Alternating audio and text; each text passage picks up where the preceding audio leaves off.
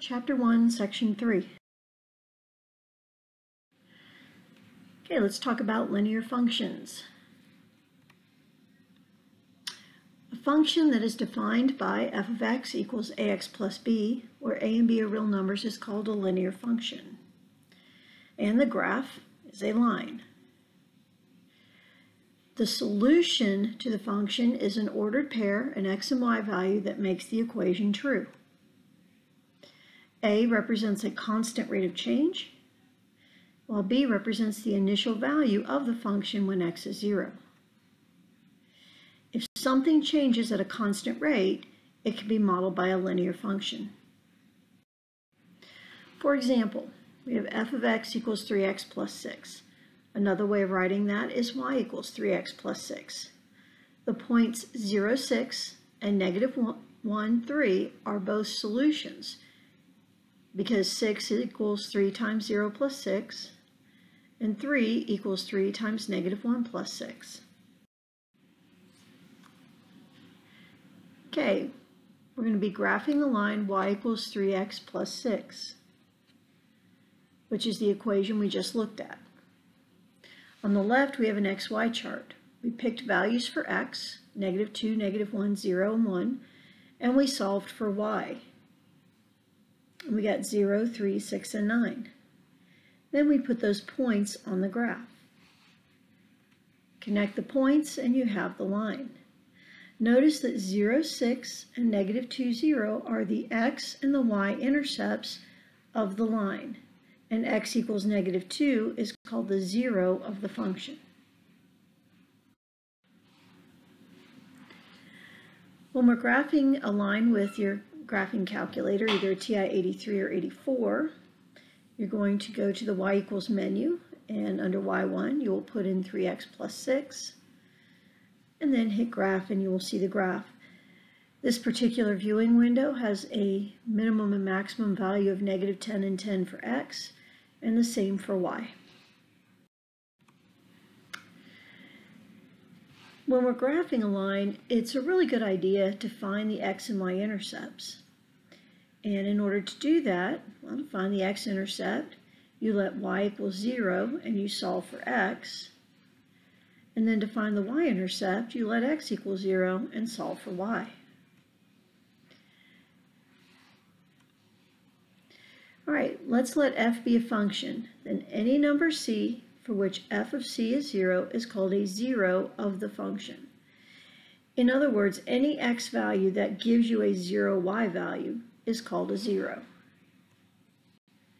The point C0 is an x-intercept for the graph as well as being the zero. Okay, let's try this example. We're going to graph the line y equals negative 2x plus 5. Pause the recording to try the problem and resume the recording to check your answer. The first thing we did was we found the x-intercept and the y-intercept. The x-intercept is 2.50. The y-intercept is 0.5. We then plotted those points on the graph and connected the points with a straight line. Okay, let's try this problem. We have a 100 gallon tank full of water being drained at a rate of 5 gallons per minute. You have three questions to answer. The first one wants you to write a linear function that models this situation. Part B asks how much water is in the tank after four minutes. And part C asks you to graph the function. Pause the recording, attempt the problem, and then re resume the recording to check your answer. We know that an equation of a line is the constant rate of change times x plus the initial amount. The water is being drained at a rate of 5 gallons per minute. That's our rate of change, and since it's going down, we use a negative. So negative 5x plus the initial amount. The tank started with 100 gallons of water. So f of x equals negative 5x plus 100.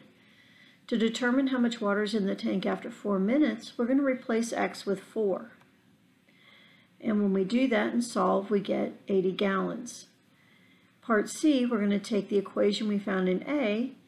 We're going to find the value of y when x is 0, the value of x when y is 0, and we're going to graph it. So the y-intercept When x is 0, it's 100. So 100 gallons in it. When time is 0, there are 100 gallons. The x-intercept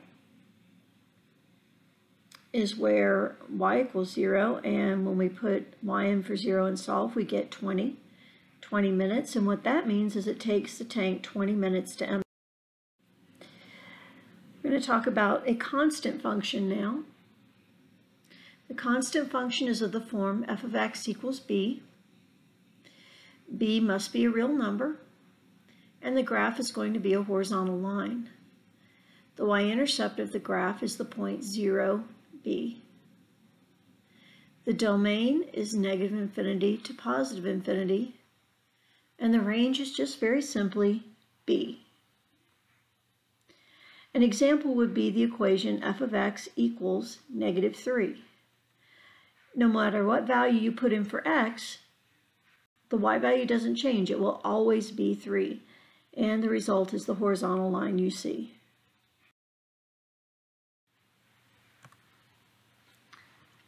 All right, a function defined by f of x equals b, where b is a real number, is called a constant function. Its graph is a horizontal line with intercept b. If b is not equal to 0, there is no x-intercept. If b is equal to 0, every number is the x-intercept. Every constant function is linear. A little bit about domain and range.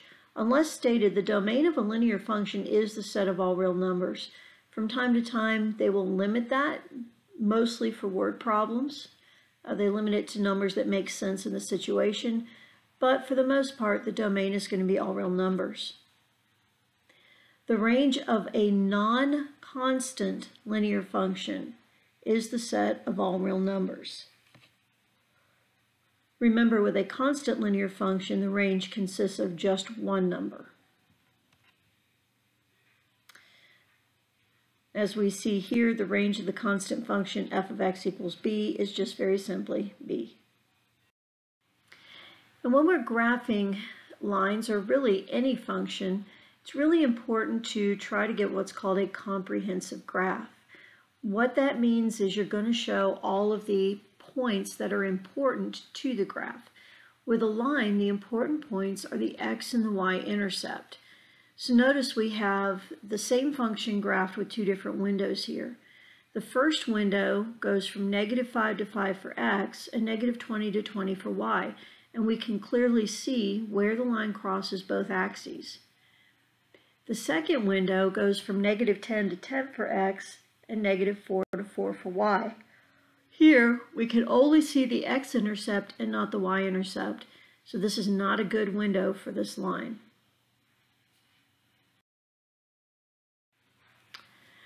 Okay, when we're talking about lines, we also need to talk about slope. And the diagram there kind of shows you how the slope is, is figured out. The slope of the line passing through the points x1, y1 and x2, y2 is m, the little m represents slope, is delta y over delta x. Those triangles, the Greek letter delta, and we use deltas in mathematics to represent uh, change. Use it in science for that as well. The change in y is the y2 minus y1, and the change in x is x2 minus x1. Notice it's really important that the change in x is not equal to 0.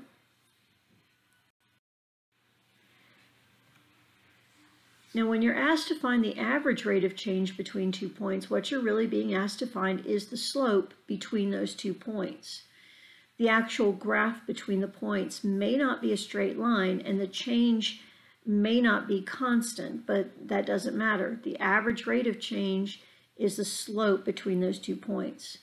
Here's a way to think about it. When you drive from home to school, you don't drive a constant speed the entire time. However, you can find the average speed by taking the change in miles and dividing by the change in time. That will give you your average speed for the trip or your average rate of change. All right, let's try this example. Find the slope of the line passing through the two given points. Pause the recording to do the problem and resume to check your answer. Okay, here you can see the numbers going into the slope formula. We have 3 minus negative 1 over negative 5 minus 2, and the answer is negative 4 sevenths.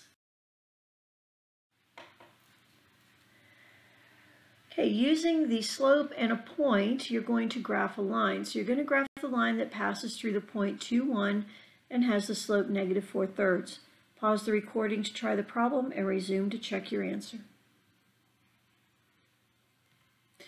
Right, the first thing you want to do when solving this is you want to plot the point 2, 1.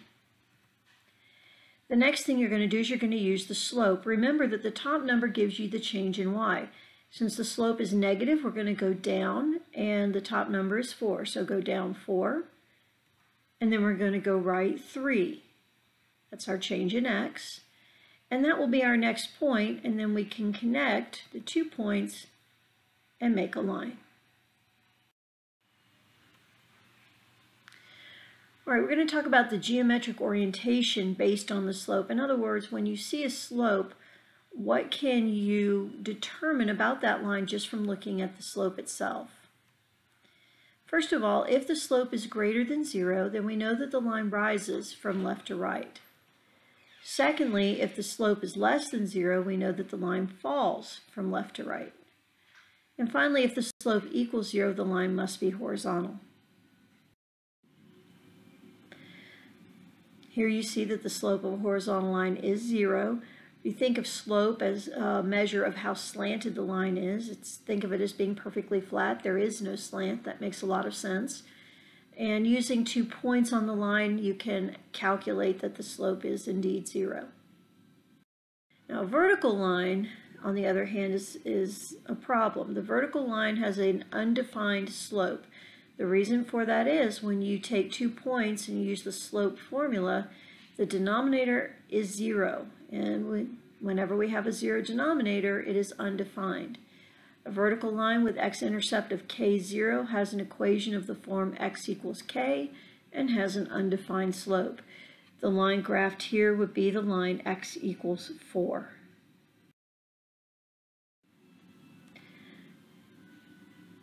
Slope-intercept form of the equation of a line is y equals mx plus b, probably the most popular form equation um, form for the equation of a line. m represents the slope, b represents the y-intercept, or the value of the y when x is 0. Okay, here's an example for you to try. Without graphing these, just based on the equations themselves, Match 1, 2, and 3 with the appropriate graphs A, B, and C. Pause the recording to do this problem and then resume to check your answer. Okay, number 1, we have 2x plus 3. The slope is positive, so it must be going up to the right, and the only graph that does that is C. Equation 2, we have a negative slope, and A and B are both going down, so that doesn't help us a whole lot. But notice our y-intercept is positive 3. Well, the only place where it crosses the axis uh, at positive 3 would be graph A. And then finally, number 3, well, there's nothing left but, but B. We have a negative slope, so it's going down, and it crosses the y-axis at negative 3. Here's an application problem for you to try. It says in 2006, about 60 billion text messages were sent in the U.S. During the next six years, text messaging increased on average by 407 billion messages per year.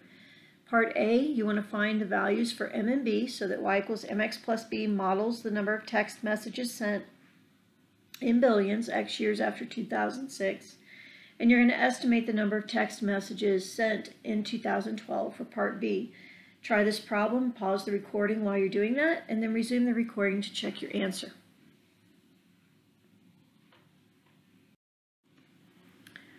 Okay, for part A, x equals 0 is going to correspond to 2006. The y-intercept is going to be 0, 60. So our B is 60. The rate of change in the number of text messages was 407 billion per year. So that's going to be our slope. m equals 407. So we have y equals 407x plus 60.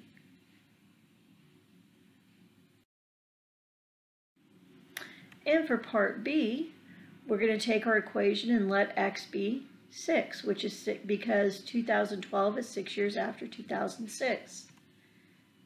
And we get 2,502. Now keep in mind, that's 2,502 billion or 2.5 trillion. And that estimates the number of text messages that were sent in 2012. Okay, these are some classwork problems. Pause the recording to try them and then resume the recording to check your answers.